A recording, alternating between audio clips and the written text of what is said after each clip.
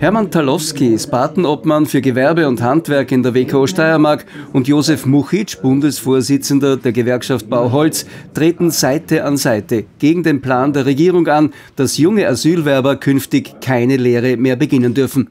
Dieses Vorhaben sei nicht im Sinne der Wirtschaft. Nein, ist nicht im Sinne der Wirtschaft. Wir haben auch dazu einen Parlamentsbeschluss der Steirischen Wirtschaftskammer im Juni gefasst, wo wir uns alle im Wirtschaftsparlament dazu ausgesprochen haben, dass Lehre mit Asyl in Mangelberufen in einer betrieblichen Ausbildung weiterhin stattfinden soll. Die Hauptbotschaft der Sozialpartner wendet sich gegen die Behauptung, junge Asylwerber würden österreichischen Jugendlichen Arbeitsplätze wegnehmen. Wir haben derzeit in der Steiermark 305 Lehrberufe, die wir nicht besetzen können. Das heißt, jeder Asylwerber der einen Mangelberuf ausübt, nimmt keinen österreichischen jungen Menschen eine Lehrstelle weg. Ähnlich die gesamtösterreichische Situation. 1023 junge Asylwerber sind derzeit in einer Lehre, wo es nicht gelungen ist, dass wir am österreichischen Arbeitsmarkt junge Menschen gefunden haben, die diese Lehrstelle antreten. Hier würden mit den jungen Asylwerbern, die eine Lehre absolvieren, die Falschen abgeschoben, sind sich die Sozialpartner einig.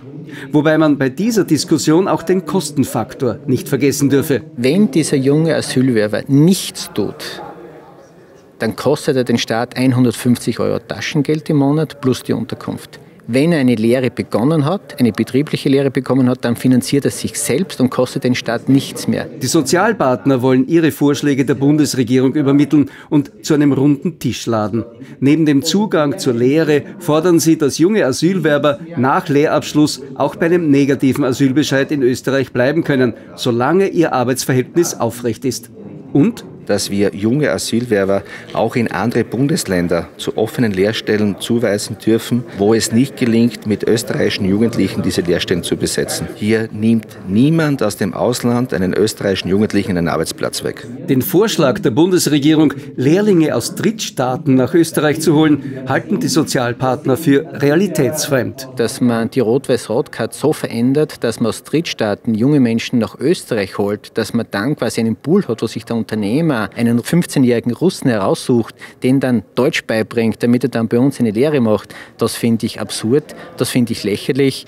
Und wer so einen Vorschlag macht, der wandelt in den tiefsten Teilen der Unkenntnis, dass das praxisbezogen ist.